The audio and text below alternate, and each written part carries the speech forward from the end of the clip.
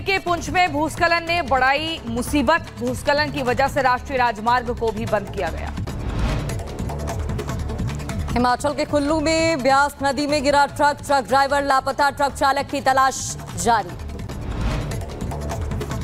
तेज बारिश की वजह से दिल्ली एयरपोर्ट की टर्मिनल वन पर छत ढहने से हादसा। हादसे में पाँच लोगों की मौत, एक घायल।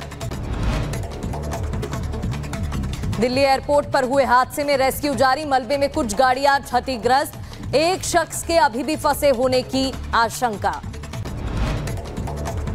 दिल्ली एयरपोर्ट पर हुए हादसे को लेकर एक्शन ने में नागरिक उड्डयन मंत्रालय मंत्रालय की ओर से जाँच टीम का गठन किया गया।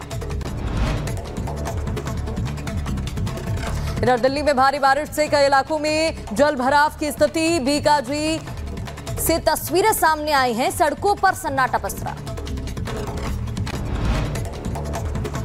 दिल्ली में भारी बारिश से सड़कों पर भरा पानी कनॉट प्लेस पर बारिश की वजह से गाड़ियों की रफ्तार धीमी हुई।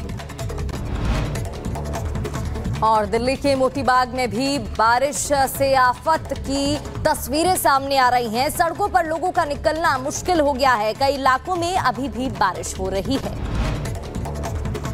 नोएडा में भारी बारिश की वजह से कई इलाकों में पानी भर गया है। नोएडा के सेक्टर पिचानवे की तस्वीरें सामने आई।